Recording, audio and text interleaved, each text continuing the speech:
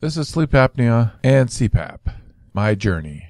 First of all, a quick disclaimer. I'm not a doctor or a nurse. What I am is someone who recently has been diagnosed with sleep apnea. So how'd this journey all begin? Well, I normally go down to a convention down in Dayton, Ohio once a year. It's a multi-day convention, so needless to say, you have to get a hotel. Well, of course, the hotels are double occupancy, so I had a roommate. I normally sleep alone. Well, after the first night, my roommate said, Boy, you snore a lot, which I kind of blew off as, hey, all guys snore. But I had thought about it, and I know that they have these snoring strips, so I decided to get some of those. Figured I'm going to solve this problem. So about two months later, I went to AirVenture in Oshkosh, Wisconsin, and camped out. Well, I had a few people from the area campsites tell me, wow, I snored a lot. And I'm thinking to myself, well, heck, I got those breathe right strips. Can't be snoring that bad. But one thing I did notice was for almost the entire convention, I was dog tired. Typically by 5 o'clock at night, I was ready to go to sleep. Now, thinking about a little bit farther, I realized that heck, I could fall asleep on a dime during the day. And at night, I rarely slept through the night. So, you know, like most guys, we just kind of ignore it. Figure it'll go away. Well, guess what? It didn't. So I talked to a few family members and some friends. One of my family members mentioned, well, maybe you got apnea. So a couple months later, when I was in for my annual physical, I mentioned to the doc about being tired occasionally during the day and not sleeping very well at night. I figured I was just getting old. And the doctor mentioned apnea again and recommended that I see a specialist. So before I had my doctor's visit, I decided to do a little deep diving. What was his apnea all about?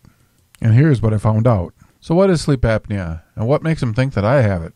Sleep apnea is a common disorder in which you have one or more pauses in breathing or shallow breaths while you sleep.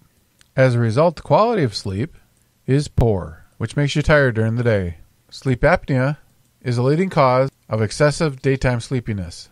Sleep apnea often goes undiagnosed. Doctors usually can't detect the condition during a normal routine office visit. Also, no blood tests can help diagnose the condition. Most people who have sleep apnea don't know that they have it because it only occurs during sleep. A family member or bed partner might be the first to notice the signs of sleep apnea.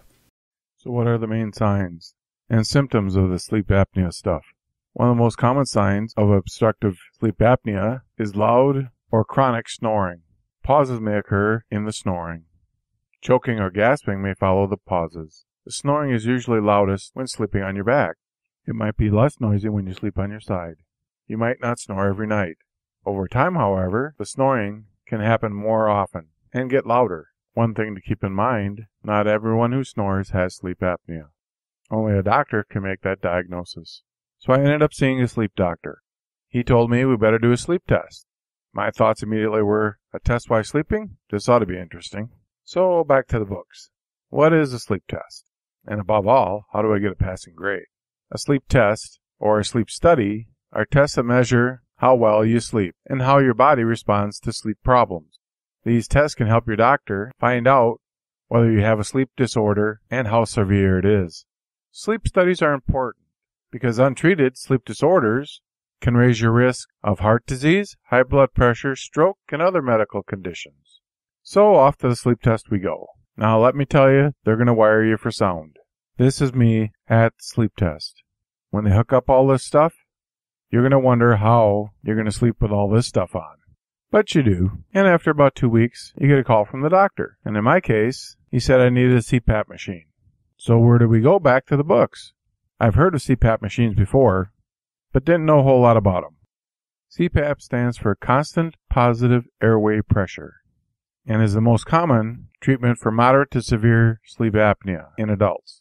The CPAP machine uses a mask that fits over your mouth and nose, or in some cases, just over your nose. The machine generally blows air into your throat. The pressure from the air helps keep your airway open while you're asleep. Treating sleep apnea may help stop snoring, but not snoring doesn't mean that you no longer have sleep apnea or can stop using the CPAP. Your sleep apnea will return if you stop using the CPAP machine or don't use it correctly. So where do you get one of these devices? Well, you need to go to a medical supply store. Most pharmacies won't sell a CPAP machine.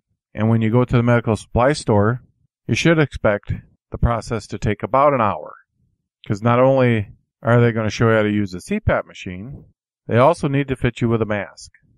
In my case, this is the machine that I use. Yours may vary. And I'm not going to get into the masks a whole lot here because there are so many that are available. And this is me in my mask. And believe me, it does take some time to get used to. And you also ain't going to win any beauty contests wearing it either. But it can save your life.